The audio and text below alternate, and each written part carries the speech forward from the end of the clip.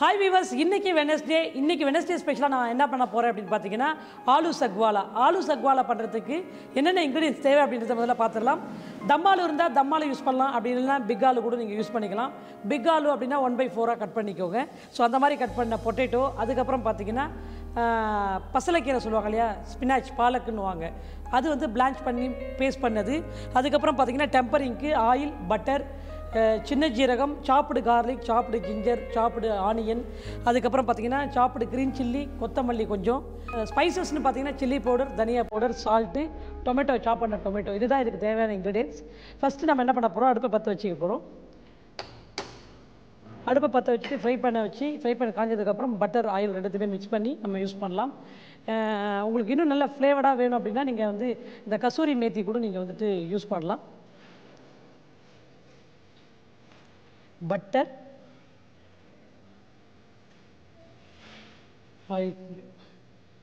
யூஸ்வலாக கீரை வந்துட்டு எல்லாருக்கும் பிடிக்கிறது கிடையாது. எல்லாருமே விரும்பி சாப்பிட்றது இல்லை. ஸோ அவங்களுக்கு வந்துட்டு இந்த மாதிரி பொட்டேட்டோ காம்பினேஷன்ஸில் பண்ணி கொடுத்தா டெஃபினட்டாக சாப்பிடுவாங்க. ரைஸ் ரோட்டி புல்கா குல்ச்சா இது கூட நல்ல ஒரு சூப்பரான காம்பினேஷனாக இருக்கும்.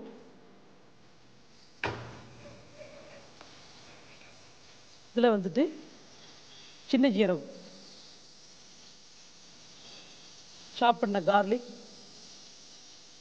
சாப்பிடு ஜிஞ்சர் க்ரீன் சில்லி இது நல்லா ஃப்ரை பண்ணிவிட்டு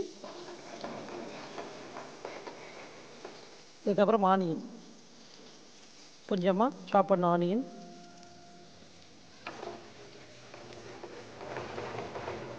ஆனியன் ஃப்ரை ஆனதுக்கப்புறம் நம்ம பொட்டேட்டோ வச்சுருக்கோம் இல்லைங்களா அந்த பொட்டேட்டோ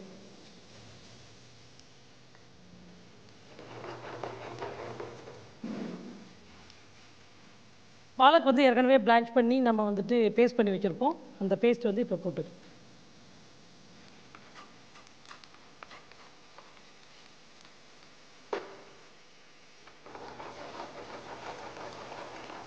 இந்த பட்டர்லேயே அது வந்து நல்லா வதங்கட்டும். தண்ணி வந்து கொஞ்சோண்டு போட்டு இதை வாஷ் பண்ணி விடுங்க.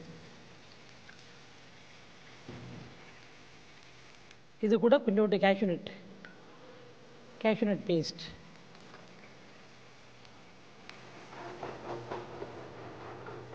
ஸ்பைசஸ் வந்துட்டு கொஞ்சோண்டு சில்லி பவுடர்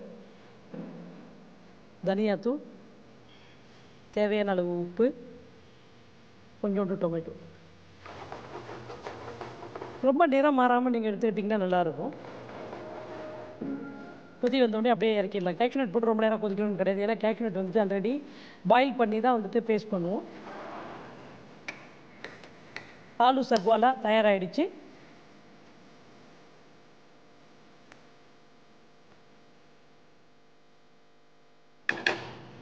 கார்னிஷுக்கு கொஞ்சோண்டு கொத்தமல்லி போட்டு. ஆலு சத்வாலா தேவையான பொருட்கள் உருளைக்கிழங்கு பசலைக்கீரை விழுது எண்ணெய் வெண்ணெய் சீரகம் நறுக்கிய பூண்டு நறுக்கிய இஞ்சி நறுக்கிய வெங்காயம் நறுக்கிய பச்சை மிளகாய் நறுக்கிய கொத்தமல்லி மிளகாய்த்தூள் தனியாத்தூள் உப்பு நறுக்கிய தக்காளி வேக வைத்து அரைத்த முந்திரி விழுது. செய்முறை வானொலியில் வெண்ணெய் எண்ணெய் சேர்த்து காய்ந்ததும் சீரகம் நறுக்கிய பூண்டு இஞ்சி பச்சை மிளகாய் வெங்காயம் உருளைக்கிழங்கு பசலைக்கீரை விழுது தண்ணீர் சேர்த்து கொதிக்க விட்டு அதோடு முந்திரி விழுது மிளகாய்த்தூள் தனியாத்தூள் உப்பு சேர்த்து கலந்து கொதிக்க விட்டு எடுக்கவும். இப்பொழுது ஆலு சத்வாலா தயார். வெனஸ்டே ஸ்பெஷலாக இன்றைக்கி நீங்கள் பார்த்தது பார்த்தீங்கன்னா ஆலு சத்வாலா எப்படி பண்ணுறது அப்படின்றத பார்த்தீங்க. கண்டிப்பாக ட்ரை பண்ணி பாருங்கள்